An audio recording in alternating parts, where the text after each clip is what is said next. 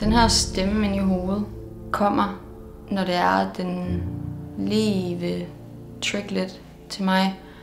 Og det er mega frustrerende. Det, jeg har lyst til, siger den til mig, at jeg ikke skal gøre, fordi at det her, det gør dig tyk, og det gør dig ulækker.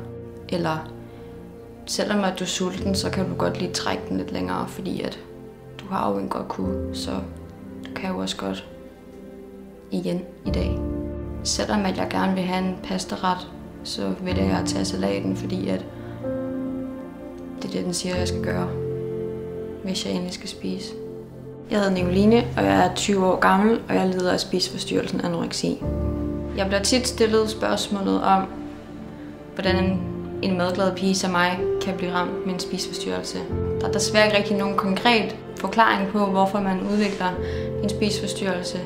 Men for mit vedkommende har det været grundet pres, og grundet det her med, at jeg ikke har følt mig god nok, og det her med at skulle gøre alting godt nok, men følelsen af aldrig at kunne gøre det her godt nok. Jeg drømmer om at få livet tilbage igen, og blive glad igen, oprigtig, oprigtig glad. Øhm, om bare mærke, sådan, hvordan latteren bare kommer fra maven af. Alice video sat gang i rigtig meget. Og det er det der med, at små skridt, store forandringer, altså sådan, det lille skridt, jeg gør den dag, øh, er jo en kæmpe forandring øhm, i det hele altså perspektiv. Jeg tror bare, jeg har manglet en, der har, der har sagt lige præcis det.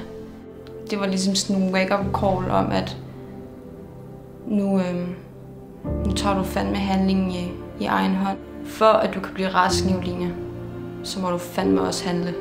Da jeg så videoen med Ali, der var ikke spor i tvivl om, at det her, det var starten til mit kapitel 1.